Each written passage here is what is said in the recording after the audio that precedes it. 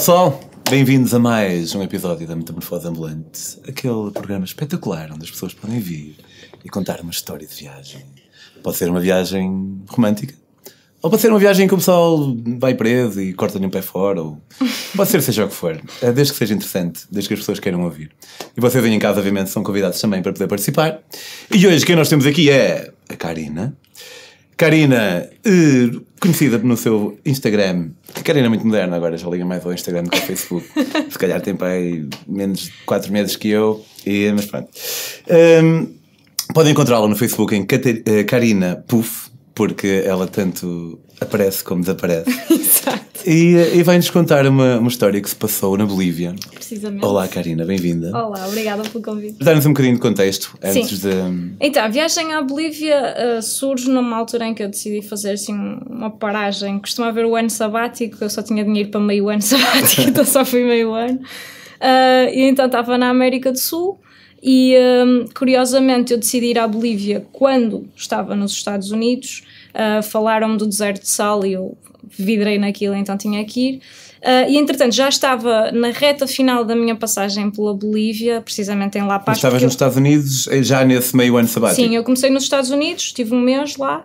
Uh, depois de lá desci para o Brasil, comecei a correr o Brasil todo e entrei na Bolívia através da fronteira com. Desceste para o Brasil de avião. Sim, Ou- e ok. depois fiz o Brasil todo por via terrestre, com autocarros de 23, 24 horas.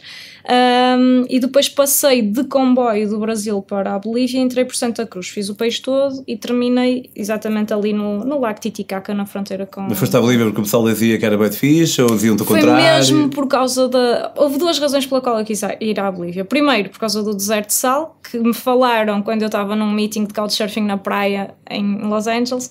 Pá, mostraram-me a ideia do reflexo do, do, do espelho total e eu vidrei naquilo, tipo, eu nem sabia que isto existia. Isso é Tipo, aquilo onde o pessoal faz de fotos com é, é quê. incrível, é assim dos sítios mais fixes que podes ir algum dia.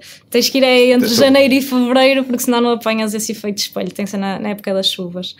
Ahm, pá, essa foi a primeira razão que me fez querer explorar um bocado mais. E depois, porque entrei no portal das comunidades para ver o que é que era preciso entrar, fazer para entrar na Bolívia e tinha assim uma mensagem a dizer expressamente aconselhada a visita por parte portuguesa e não sei o que. Eu disse, ok, é para aqui que eu quero ir. Aqui, que eu.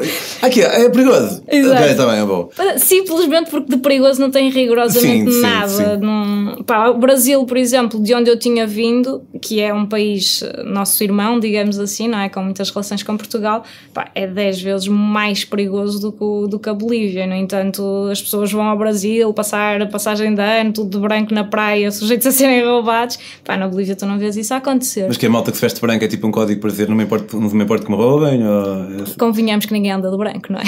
Ah, pá, é assim, pedir para ser roubado. É, é pedir, tipo, que, pá, ando de iPhone. Nem que seja por uma questão de bom gosto. Eh, Mas à parte disso, pronto, então, estou na Bolívia e, eh, e chega lá a Paz, que, que é onde acontece essa, essa história. Pronto, eu, eu tinha enviado um pedido de couchsurfing para uma família, neste caso tinha ma- mandado para o filho deles, que era o Sérgio, que na realidade vinha perceber que ele não vivia em La Paz, ele estava a viver em Montpellier, em França, eh, e respondeu-me a Era um dizer... bocado a desamão. um bocado a desamão. Mas ele na boa, tipo, responde, pá, claro que sim, podem ficar em minha casa, na boa, sem problema, eu estava com o meu namorado. Mas foi o teu primeiro pouso na Bolívia? Não, não, não, não, não. Esse já foi até o último, ah, porque como eu entrei lá está pelo lado, junto à fronteira com o Brasil, La Paz já era a terminar ah, a passagem pela Bolívia. E então, ah, pá, ele responde-me a dizer que sim, é fixe, tipo, vamos, vamos para casa do, do Sérgio. Quando eu chego lá, abre-me a porta uma senhora, e eu tipo, pá, então será que estou no sítio certo? E ela abre, ah, ah, o meu filho, ele faz couchsurfing, mas ele está a viver em França, portanto quem está a receber os hóspedes somos nós, ahm, por isso podem entrar e não sei o quê. Pá, e eu olhar para o Simão, para o meu namorado, do género, "Ah, ok. E ela, muito certinha, sabes, tipo, convida-nos a entrar, mas Sim. depois põe-nos à mesa e começa estilo interrogatório. Então... que é que vocês fazem? Quem sois? Exato. E nós, pá, durante tipo 30 minutos a responder às perguntas todas, todas na boa, claro, a tentar uh, não entrar naquela cena de pá, mas porque tantas perguntas, mas na boa sempre. Afinal, quando ela estava a receber, já. Claro. Ah, e acredito que para ela fosse uma experiência completamente diferente e nova também, porque viemos a perceber que nós tínhamos sido os terceiros hóspedes que ela tinha recebido, ou seja, a experiência dela no Couchsurfing também não era assim tão grande. Um, entretanto, lá ficou aquele tempo à conversa e depois disse: Pronto, vocês podem então ficar, eu vou-vos mostrar o quarto, que era o quarto. Passaram o teste. Exato. Nós, yeah, boa, vamos ficar. Uh, pronto, entretanto, no meio disto, nós estávamos tipo a 3 ou 4 dias do Natal e então ela pergunta-nos: epá, e uh, o que é que vocês vão fazer no Natal? Já têm planos? E nós, naquela de fazer o choradinho, a ver se surgiu o convite, e nós, epá, se calhar vamos para ir para um hostel qualquer. Já, já viu, Sem coitados de nós. Fiquem Longe da nossa família. Está? Há cinco meses, longe da nossa família, mas tá, estamos fixos, a gente pá, fica lá no Qualquer- hostel com desconhecidos. e ela, ah, pronto, porque nós vamos ter aí umas, umas dinamarquesas, mas pá, arranja-se espaço para toda a gente e vocês passam aí connosco. Nós, a sério. Dinamarquesas também couchsurfers. Exatamente. Pronto, e acabou por ser muito giro porque ficamos todos, as três dinamarquesas, os dois portugueses e a família boliviana. E como é que é o Natal eh, boliviano? Opa, não é muito diferente do nosso, embora É no eles... dia 24 também que celebra. Sim, sim, sim. A família onde nós ficamos, ela não é, não é cristã. Tem outra religião muito estranha que é coreana, o que é que é? Ahm, Coreano. Coreana. Tipo, pá, Ah, vem, porque vem da Coreia. se, não, se- pá, eu sinceramente não percebi muito bem qual é a filosofia daquela religião em particular, porque no fundo eles têm cerimónias como as nossas, em termos católicos, não é? Mas depois eles não têm, eles não seguem a Bíblia, Pá, é diferente. Portanto, mas Jesus continua a significar alguma coisa para ele. Sim, sim, Simplesmente sim. não é ali o maior boss do, sim, da cena. sim. Ahm, pronto, e então eh, eles fazem na mesma pá, o- a celebração como nós fazemos, junto à malta toda à mesa, não há bacalhau, mas há, há- acho que era, era pavo, é peru, exato. Ahm, pá, depois nós estivemos a inventar também na cozinha, então elas fizeram um doce dinamarquês, nós fizemos, acho que foi rabanada, já não me Existem doces dinamarqueses. Yeah, era uma coisa de género de hum, arroz doce, mas aquilo levava amêndoas e mais não sei o quê. E levava um, um- tipo uma compota de frutas que elas tinham feito para estava fixe. Um, e depois havia os, os pratos bolivianos e nós juntamos aquilo tudo, fizemos lá uma grande, uma grande festa. Entretanto, acabava o Natal e nós dois dias depois íamos à nossa vidinha para outro sítio que se chamava Sorata, que estava lá perto, era uma montanha. Só que quando chegamos à montanha, nós íamos com o objetivo de explorar a montanha e como já um estávamos trekking. ali janeiro, fevereiro, já é época das chuvas. Pá, choveu assim desalmadamente o tempo todo que nós lá tivemos e nós ao fim de três dias dissemos, pá, esquece, não, não há condições. Ahm, Mas que é, tipo, vocês chegam à montanha e estão tipo a olhar para a chuva. Não dá para fazeres quase nada, é muito perigoso, porque não, não é Ok. um trekking sinalizado, estás no meio da montanha, mas é Ok. uma montanha que não, não está preparada. Estão tipo à espera que passe, mas não passa. Tipo, Sim, pronto, e ficamos ali naquela, pá, não, não dá para fazer nada, por isso vamos abolir o plano. Ah, então, a nossa ideia era regressar a La Paz com o objetivo de apanhar um transporte para se ir para outro sítio. Faziam, andavam, moviam-se de autocarro. Sim, sempre. Só que La Paz, Sorata, como é, é um sítio muito pequenino, tinhas sempre que regressar a La Paz para fazeres as conexões para, para outras cidades. Ahm, pronto, o que acontece é que nós chegamos a La Paz e começamos a perceber que há muita gente na rua, não estávamos a entender bem o que é que é que estava a acontecer até que nos inteiramos do que é que tinha acontecido. Basicamente houve aquilo que eles chamaram gasolinazo, que foi, portanto isto aconteceu já há uns anos atrás, embora tenho percebido que é algo recorrente este tipo de situações na Bolívia, em que eles duplicaram literalmente da noite para o dia duplicaram o valor dos combustíveis.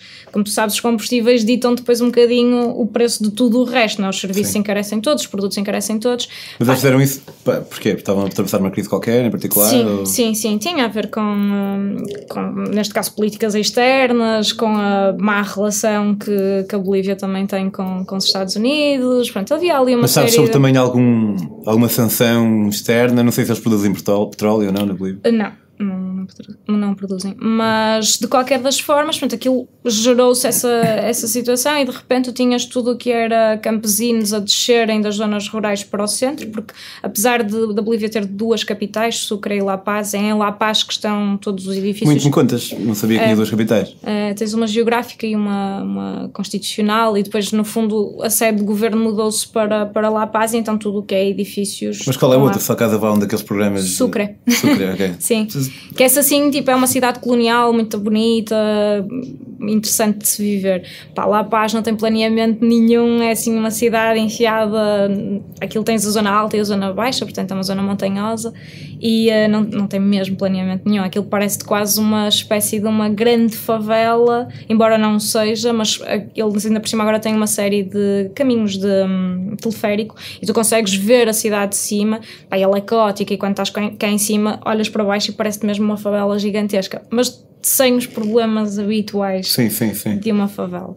Um, o pessoal vinha para a rua e que havia tiros ou... Sim, opa, aquilo começou, os ânimos começaram a aquecer, portanto no dia em que nós chegamos ainda estava muito morno, pá, nos dias a seguir foi sempre a piorar, porque cada vez começava a descer mais gente das zonas rurais para o centro, então mais gente, mais problemas, aquilo chegou a uma altura em que nós estávamos exatamente a circular na, na avenida principal, uh, e de repente começas a ouvir uh, tiros, estavam a ser disparadas balas de, de borracha, havia gás lacrimogéneo nas ruas, pá, malta. Houve alguém que aproveitou para fazer aquele, aquele saqueamento do costume. Quando há tipo motins, já sempre alguém. Pá, é uma altura para ir ali partir a janela de uma, de uma cena e comprar uma Provavelmente. Eu não vi nada em especial, mas também estava mais preocupada em sair daquela zona de. Sim, estava lá tipo. Problemática. Vão saquear alguma coisa. Não, estava mais interessada em sair um bocadinho dali do que propriamente. Pronto, de ver se isso acontecia. Mas, mas pá, tudo que era edifícios governamentais estavam naquela rua, pá, estavas a ver toda a gente a tentar destruir os edifícios. Depois eu cheguei a assistir na televisão um deputado a dar uma entrevista para a televisão e a ser completamente apedrejado. Uma delas bateu-lhe na cabeça e o gajo tombou direito no chão. Sério? Estava mesmo um clima difícil.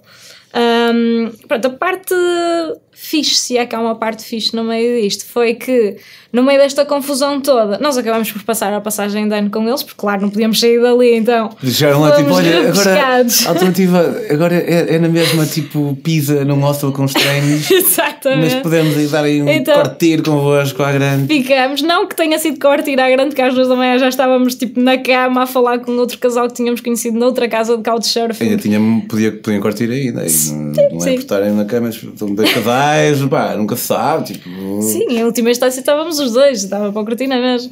E, Sim, mais não percebes onde é que eu ia. Uh, estava a brincar contigo. Estava a ser mau. E, uh, bom, de qualquer das formas, acabamos por estar ali na, pronto, naquele espírito de família que para nós foi fixe, porque já estávamos há muito tempo fora de casa e acabou por ser uh, um momento engraçado. E nessa noite da passagem de ano, o Evo Morales acabou por ser um gajo fixe e anunciou que a medida ia, ia ser retirada. E portanto, a noite de passagem de ano foi uma noite de passagem de ano e de celebração dessa dessa medida que foi. Portanto, mas foi essa, essa nova medida de, de Durou tipo uma semana, nem isso, cinco dias.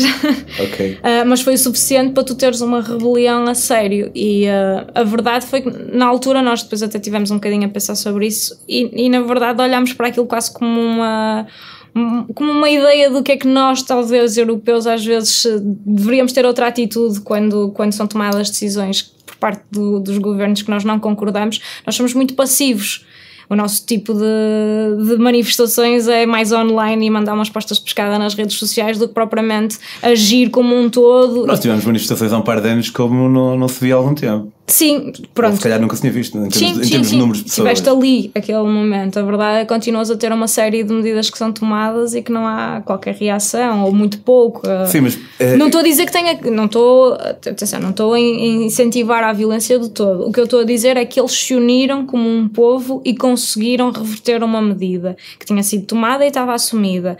Uh, e fizeram porque todos se uniram em prol do mesmo. Sim, sim. E nós não fazemos. E, portanto, nesse aspecto, eu sinto que aquilo poderia ter sido sido um exemplo para nós seguirmos. A verdade é que a medida foi retirada e a partir daí a Bolívia voltou ao, ao, ao seu estado pacífico. Por acaso eu estive lá em fevereiro novamente este ano e o Evo Morales, que na altura já não era propriamente um, uma figura que reunia um consenso, agora ainda pior, portanto a situação está ainda mais acentuada. Mas o que é que fez agora? Aplicou o preço do açúcar? Não, a questão é que o, Evo Morales representa, ele vem, uh, portanto, dos indi vem, é, é, faz parte do povo indígena, não é? Um, e está muito conotado à zona, neste caso, oeste da, da Bolívia, que é onde tu tens a maioria dessa comunidade campesina no lado ocidental, que está mais próximo do Brasil, que é onde tu tens o motor, o motor económico do país e onde tens as cidades que realmente produzem riqueza. Um, Posso-te dizer que, por exemplo, entre Sucre e Santa Cruz, que são as duas cidades onde tens mais dinheiro a circular, onde tens mais empresas, mais atividade económica, não tens uma estrada em condições que as una. É uma estrada em terra batida que ainda por cima desta vez estive lá em fevereiro, tive que ficar 3 horas parada porque a estrada estava literalmente cortada com obras a decorrer uh, e, e pá, não faz sentido, estás a ver? Tem, é como teres Porto e Lisboa e não teres uma estrada que as una. Porquê que vais tantas vezes lá? Porque eu, eu tenho liderado grupos de viagem na, na Bolívia. Exato, eu sabia, era só para tudo isso também. Já agora, Sim. se quiserem ir com a Karina, Sim. Uh, é na Landscape, não é? Exatamente, que é uma agência aqui parceira deste grande chapéu que é o Maluco Beleza. Exatamente. E com isso fechamos, olha, obrigado por obrigado. teres. Uh, ah, mas já agora, estou só a dizer isto também, mas não sei qual é o endereço, mas põe landscape. Uh, Podem PT, a... E depois há web de viagens lá e uma Se delas procurarem como Be Landscape também vão ao Instagram, também podem acompanhar as viagens de outros líderes que estão em viagem, como o João Amorim, que também está. Mas caem nos outros, vão a Exato. Não, estou a brincar, obviamente. Uh, olha, obrigado por teres vindo. Bem, em casa, um, se conhecerem histórias que curtissem uh, ver aqui contadas, seja por vocês próprios ou por outras pessoas que conhecem, enviem a mensagem com a história. Pedro on the Road, no Facebook ou no Instagram. Também, se quiserem conhecer as minhas próprias histórias, tenho aqui este livro maravilhoso, que é o Daqui Ali, Portugal, África do Sul, Bicicleta. Podem comprá-lo em daquiali.com. E para estes puffzinhos que a Karina nos vai oferecendo, podem acompanhá-la em Karina Puff no Instagram. Exatamente. Até para a semana. Obrigada.